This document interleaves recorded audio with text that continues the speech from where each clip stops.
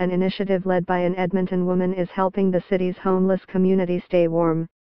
Jasmine Topham started Number BundleUpYEG five years ago with the hope of helping a few homeless Edmontonians by collecting some winter clothes from friends and family.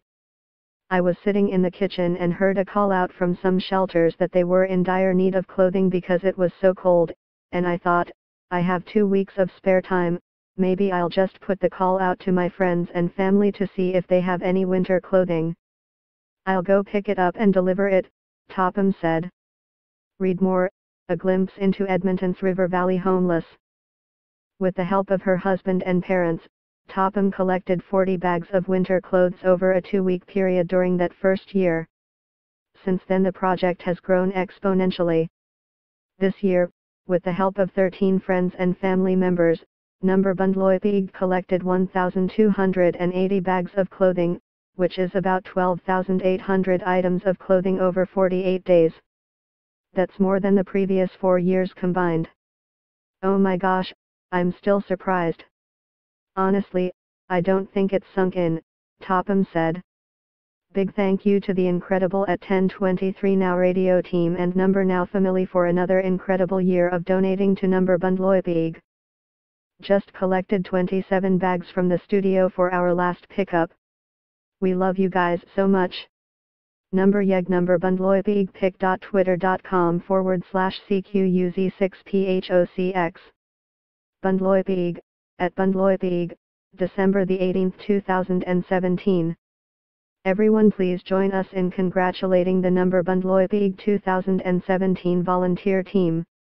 These incredible PPL have spent hundreds of hours in their vehicles to collect and deliver your clothing donations to number YEG homeless shelters we couldn't operate without them pic.twitter.com forward slash SKHR5XLSN9.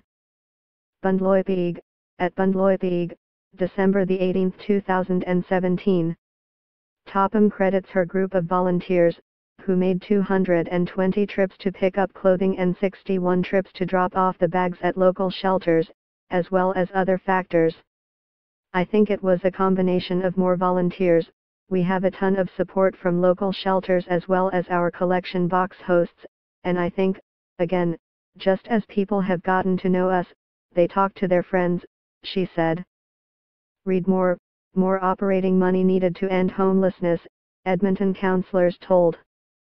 She also says social media has played an important role in allowing the initiative to grow. Now that's how people find us. We've asked a lot of our donors how did you hear about us?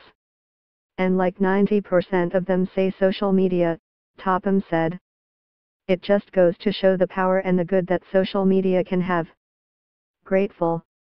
In TH last 48 days, Jasmine and her fleet of number bundle buddies made 17 trips to Bissell Center, delivering 371 bags of warm clothing.